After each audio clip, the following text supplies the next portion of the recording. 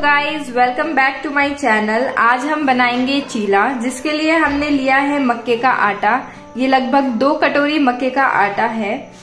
हमने लिया है एक प्याज, जिसको फाइनली चॉप कर लिया है। छोटे छोटे बारीक काट लिए गए हैं।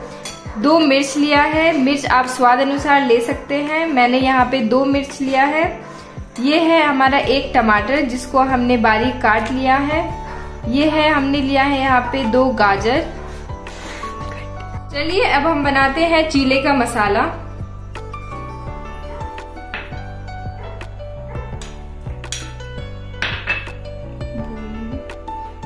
ये मैंने टमाटर डाल दिया है, गाजर डाल दिया है, और ये धनिया डाल दिया है। अब इसको थोड़ा सा मिक्स कर लेंगे। इसमें डालेंगे सूखा धनिया।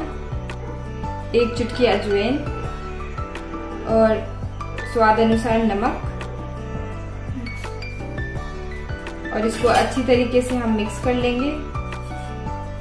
इसको अच्छे से मिक्स करने के बाद अब हम इसमें डालेंगे पानी। ध्यान रखें कि पानी ज़्यादा ना डालें।